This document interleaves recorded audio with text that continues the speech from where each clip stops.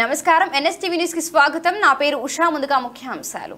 ఉయ్యూరులోని కాకానీనగర్ గిరిజన కాలనీలో వినాయక నిమజ్జనం ఊరేగింపులో ప్రమాదవశాత్తు విద్యుత్ షాక్కు గురై మృతి చెందిన కుటుంబాలను పరామర్శించారు పెనుమలూరు ఎమ్మెల్యే పార్థసారథి. బాధిత కుటుంబాలకు ప్రభుత్వ ఉద్యోగం వైఎస్సార్ బీమా మరియు నష్టపరిహారం త్వరలో అందేలా ఏర్పాటు చేస్తానని అలాగే విద్యుత్ వైర్ల స్తంభాలు ఎక్కడైతే పాతబడ్డాయో వాటికి మరమ్మతులు చేయిస్తానని హామీ ఇచ్చారు. పోల్స్ అన్నీ కూడా అంటే ఈ పోల్స్ ఎప్పుడో వేయటం జరిగింది.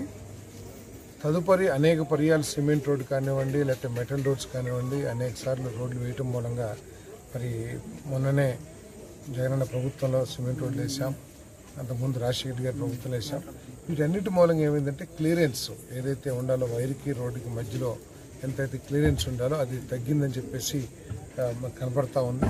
అంతేకాకుండా ఈ స్తంభాలు ఎప్పుడో చాలా కాలం అయింది కాబట్టి ఎక్కడ డ్యామేజ్ ఉన్నా లేదు వైర్ లూజ్ ఉన్నా కూడా వారం పది రోజుల్లో ఈ కాలనీలో ఉన్న విద్యుత్ సమస్యలన్నింటినీ కూడా మరి పరిష్కరిస్తామని చెప్పేసి కూడా ఈ సందర్భంగా తెలియజేస్తూ అవసరమైతే కొత్త పోల్స్ కూడా వేసి ఇంకా హైట్ లేపే విధంగా ఇళ్ళకి కానివ్వండి లేకపోతే ఇంకెవరికి కూడా ఇబ్బంది లేకోకుండా ఆ- స్తంభాలు కూడా కొత్త వేపిస్తామని చెప్పేసి మనం చేస్తాను అదేవిధంగా ఇన్సూరెన్స్ కూడా ఉన్న వైఎస్ఆర్ ఇన్సూరెన్స్ ఏదైతే ఉందో మరి అది కూడా వెంటనే వచ్చే విధంగా నేను కృషి చేసి అధికారులతో మాట్లాడి ఆ కుటుంబానికి నేను సాయం చేస్తానని చెప్పేసి మనం చేస్తూ మరి మన జగనన్న ప్రభుత్వం మీకు తెలిసిందే పేదవాడికి చీమ కుట్టినా కూడా మాకు కుట్టినట్లు భావించి వాళ్ళు ఏ విధంగా ఆదుకోవాలి ఏ విధంగా ఆర్థిక సహాయం చేయాలనే లక్ష్యంతోనే వైఎస్ఆర్ కాంగ్రెస్ పార్టీ పనిచేస్తుంది. కానీ ప్రతి దాని మీద కూడా రాజకీయాలు చేయాలని చెప్పేసి ఆలోచించేదని చెప్పేసి మనం చేస్తూ ఈ ఈ కాలనీలో విద్యుత్ సమస్యల్ని అదేవిధంగా నష్టపరిహారాన్ని అతి త్వరలో నేను